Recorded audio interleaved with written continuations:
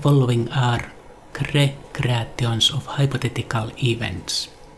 I have not watched Girls Frontline anime or played the mobile game, nor do I know anything about either of those things.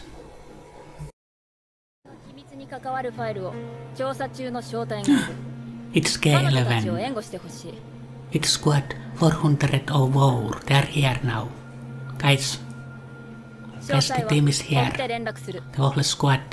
Guys, I've never been this happy in my life.